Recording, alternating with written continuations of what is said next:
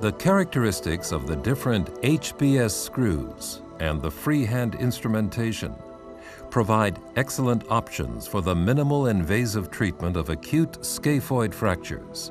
The high compression screw enables secure fixation of the inserted cancellous bone block for effective treatment of pseudarthrosis. Tiny fragments can be fixed with the HBS mini screw. Two different sets are available.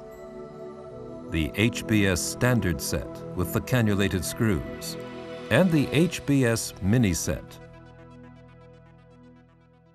The HBS standard set includes two different screw types. The HBS screw with the standard compression and the HBS screw with the high compression. The high compression screw achieves approximately 35% higher compression due to the different pitch of the thread. Both screws are cannulated for a 1 mm K wire and are available in lengths from 10 to 30 mm in 1 mm graduation. Each thread of the screw has two cuts to facilitate the insertion of the screw.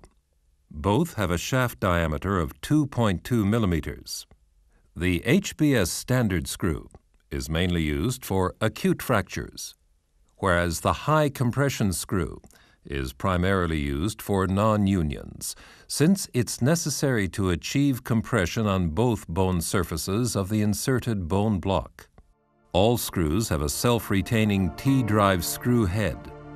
The conical star-shaped screw head design enables optimal transmission of forces through maximum surface contact and prevents stripping of the inner screw head.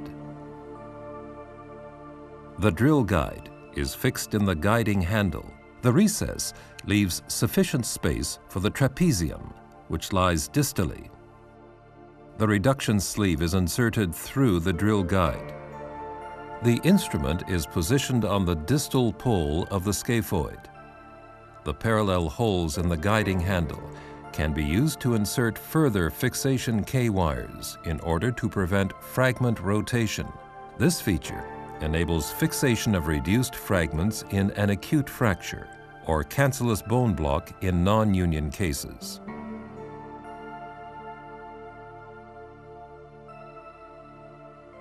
An optional soft tissue sleeve facilitates the insertion of the guide wire this is extremely helpful for the minimal invasive technique. The guide wire is inserted through the reduction sleeve under X-ray control until it reaches the opposite cortex.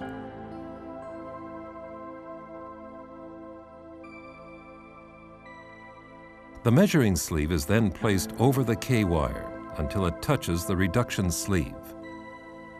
The tip of the drill guide must remain firmly applied to the surface of the bone so as to ensure accurate length measurement.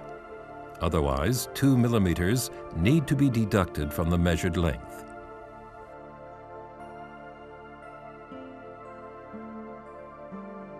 The knurled nut is opened up and pushed to the correct length. The set length is the last number to be seen on the scale after closure of the knurled nut. The drill can then be inserted with a motor the length should be checked with an image intensifier after drilling, while the drill is still inserted in the scaphoid.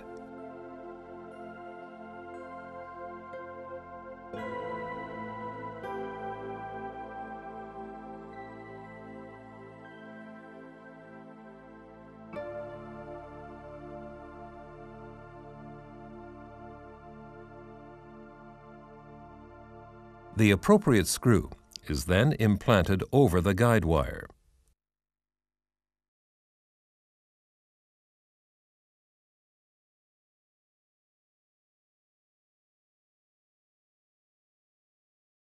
The screwdriver is removed half a centimeter before the handle touches the drill guide and the guide wire is taken out. This prevents the tip being cut off.